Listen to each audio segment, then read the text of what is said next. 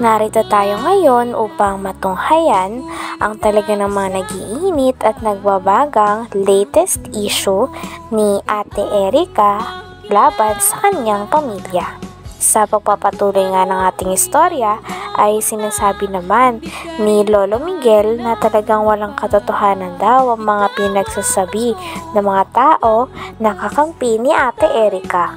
Puro paghahambog lang daw ang mga iyon at talagang walang katotohanan dahil hindi naman sila ganon Katulad ng mga sinasabi ng mga bashers nila na mukha daw silang pera, mga gutom na aso at iba pa.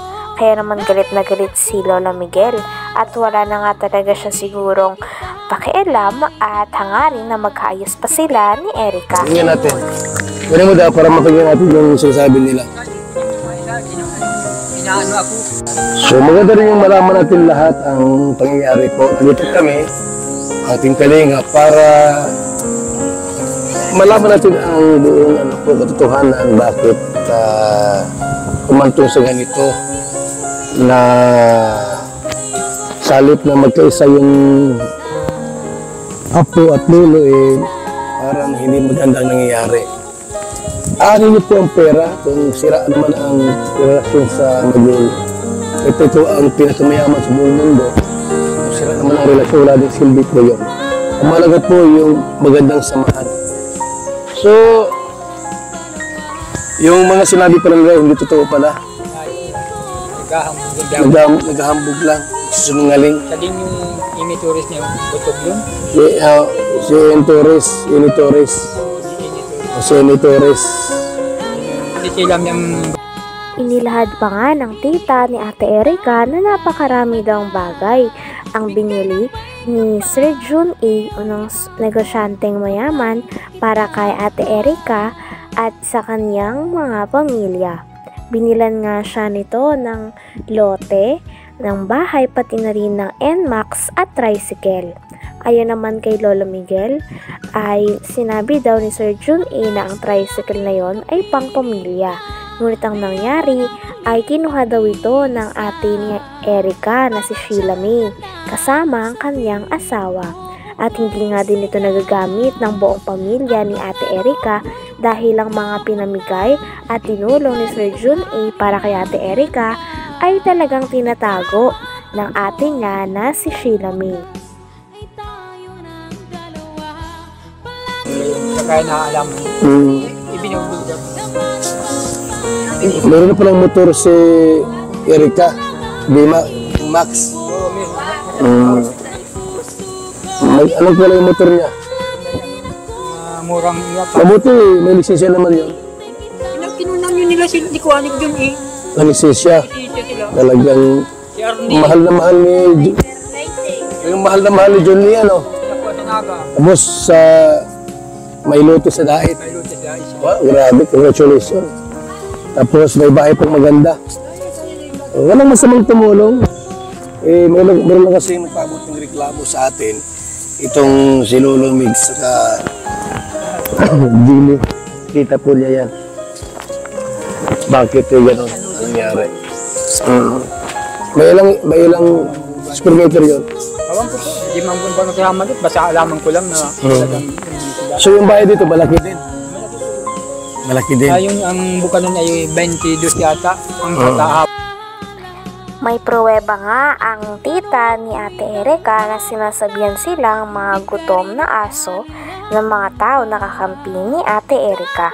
Kaya naman pinakita ng tita ni Ate Erika ang chat na ito sa kanila. Dahil dito ay mas lalo pa nga nagagalit si Lolo Miguel kay Ate Erika pati na rin sa kanyang ate at sa mga tao na kumakampi pa dito dahil sila na nga daw ang iniwan at talagang hindi nirespeto dahil umalis daw ang dalawa sa bahay nila nang walang paalam at hindi na nga sila binibisita pagkatapos nilang palakihin ng mga ito at paaralin. Ngunit in return nga ay walang natatanggap na tulong sila Tatay Miguel galing kila Ate Erika tulad ng mga pinapakalat nila na nagsusustento pa daw sila Ate Erika So yung bahay dito, malaki din.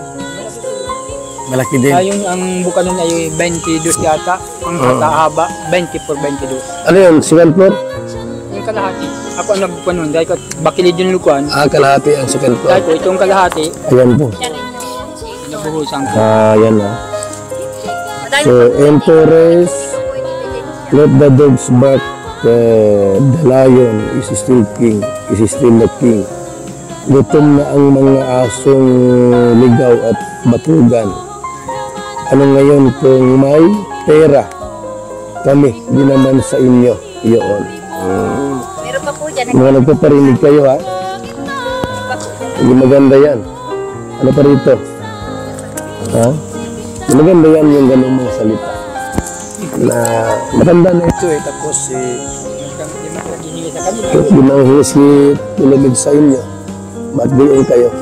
Ikaw ka nilang mga kabutugan Pinaparatangan din si Lolo Miguel na siya daw ang kumukuha ng pera dahil siya daw ang inuutusan o pinapakausapan na bumili ng mga gamit sa loob ng bahay na pinagawa ni Sir Jun A para kay Ate Erika sa kanyang pamilya.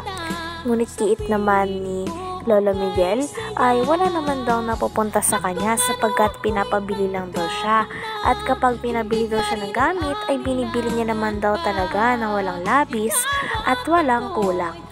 Talagang ang source ng pera ay nanggagaling kay Sheila May na ate ni Ate Erika dahil sa kanya daw nagpapadala at siya ang kumakausap kay Sir June A. Sabi pa nga ni Kalingap Val Santos Matubang ay may tuturing talaga na parang buhay prinsesa si Sheila May dahil may mga taga-utos ito. Ano? Hmm. Parang kinukumpinsin mo si Papa na Susunod ito, Teresita. Ah, Dami po niya. oo. Okay, nag-video call sa tatay Miguel, second few minutes. Gusto siguro na matanda, makahu makausap talaga ako. Three times siya nag-attempt to call me. Bago po alam ko sila okay. kung saan sa amin. Oo. okay, so, itago nyo ito ha, para evidence natin to. Dami po po Anong klaseng pamilya, pati gulo sa pamilya, binulat-lat sa social media. At ano pang gulo, ingitan ba mga yan? Iringan sa pamilya, lalo pag problema sa kwarta, sa pera, kayo, kayo na lang at sa inyo na lang yan maraming makikisaw-saw. Siguristang, ano, okay.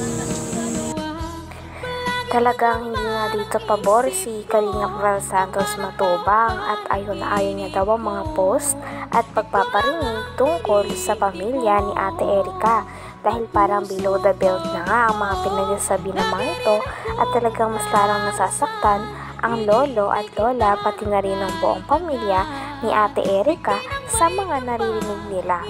Talagang hindi nga daw ito maganda lalo na para sabihan nila ang mga tao at pamilya na nagpalaki o nag-aruga kay Ate Erika at sa kanyang ate nung bata pa sila. Kita, Mga ilaber din po yan. Ano rin po nila. Mm. Mga grupo po. Oo. Oo. Okay, so may mga hindi magandang salita, no? Hindi naman Oh. po ini-erase. Para po may patunay po ako na talagang kaya po ako nag-video dahil nasasaktan din po ako sa sinasabi nila. Oo.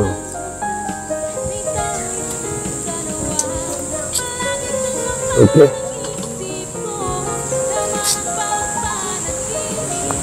Ang ano po, kailan sumisigaw at reklamo, hindi, hindi daw karapatan ni Erika na kaya itulungan, hindi na lulo. Saan, saan sila nagla? Mm. Mapa sa amin, hindi ako lang nagkakanong, kaya lang, ini, ang hihinapit ko dun. Bakit saan sila naglaki? Mapa sa amin sa isang taon pa lang kalahati. Kasi sila may Hanggang dito na lamang muna ang ating napakainit, nagtitrending at talaga namang mas nakakaintriga na issue ni Ate Erika. Maraming salamat sa inyong panonood. Hanggang sa muli. Bye!